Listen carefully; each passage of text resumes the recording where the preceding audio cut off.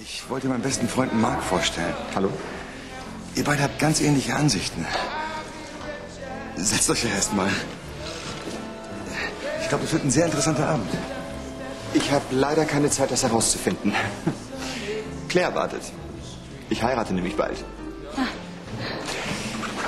Kann ich dich mal kurz unter vier Augen sprechen, bitte? Sie entschuldigen, er ist gleich wieder da. Robert, ich will keinen Wald mehr.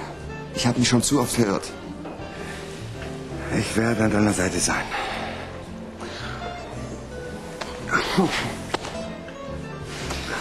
Danke. Du siehst wunderschön aus.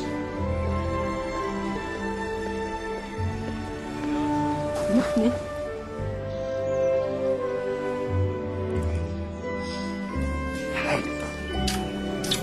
Mark. Robert. Hi.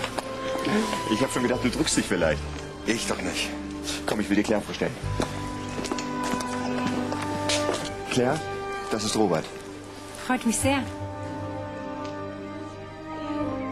Ich hoffe, wir brauchen ihn wirklich nur als Trauzeugen.